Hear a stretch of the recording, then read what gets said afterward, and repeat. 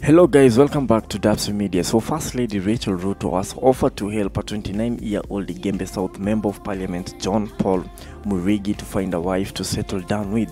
Speaking during a church service at St. Thomas Athi Catholic Church in, Ma- in Maua, Meru County, the First Lady questioned whether Mwirigi had found a better half.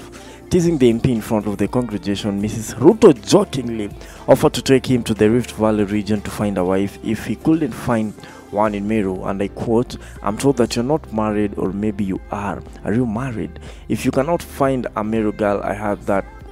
I heard the choir sing Kalenjin songs. I can take him to Rift Valley and find him a wife. She said, um, while laughing, actually, along to find a wife. According to her, the parliamentarian needs a wife who will make his constituent um, tea whenever they visit him at home.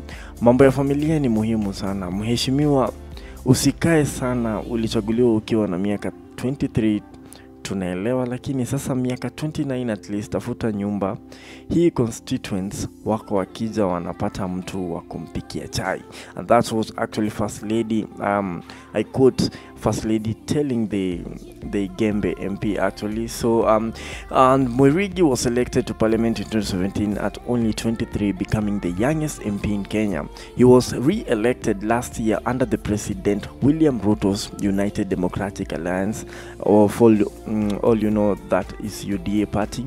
The First Lady also took the moment to comment on the LGBTQ plus, which has been the topic of discussion in recent days, affirming that Kenya was a God-fearing nation that is firm in family values.